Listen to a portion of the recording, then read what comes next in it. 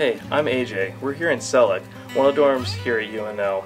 It houses a lot of international students because it's open during the breaks. Me and some of my friends decided to move in here so that we may share Jesus.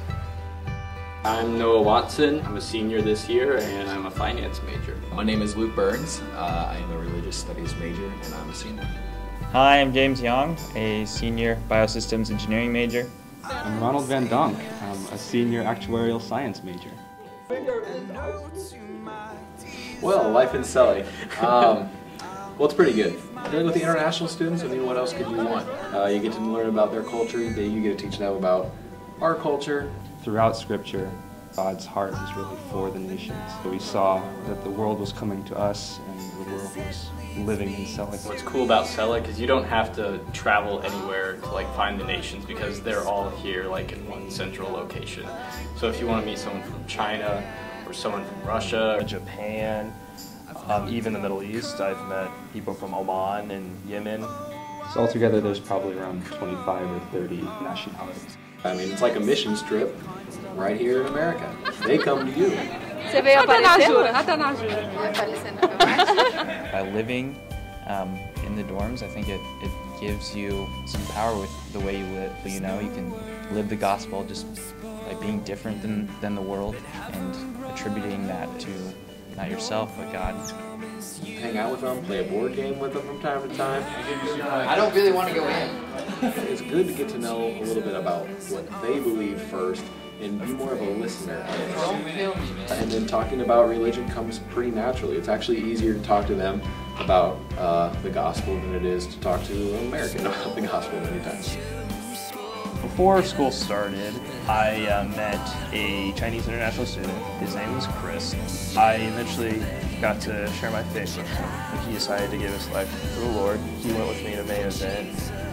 That's one of my God's answer my prayers, just to not worry that I can make an impact.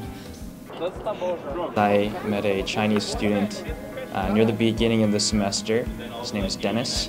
One of the cool things that I got to do with Dennis over the, over the break is uh, Dennis actually got to stay with my family, just experience American hospitality and hear the story of Jesus for the first time uh, because it was Christmas time. Um, and the first thing he said to me in the car after, you know, hearing hearing the Christmas story was, I didn't understand anything. So throughout the course of a couple days, worked our way through what Jesus did. I don't know how much has gotten across yet, uh, but I was able to give Dennis a Bible, give him Ron's Bible, and um, Yeah, I do remember that. I think the most important thing uh, when laboring together is being brotherhood. A lot of times we'll meet in Ron and James's room, and we'll leave the door open. We'll have uh, the Bible out. Talk to each other about how life is going, struggles, vulnerabilities, and then encouraging each other in our ministries and, and sharing prayer requests. Something that we consistently pray for in Selleck is just patience. Even when you're unmotivated to share the gospel, you kind of are given opportunity after opportunity just to befriend people and push your limit in terms of your energy and, and really make you rely on God and God's strength and God's power.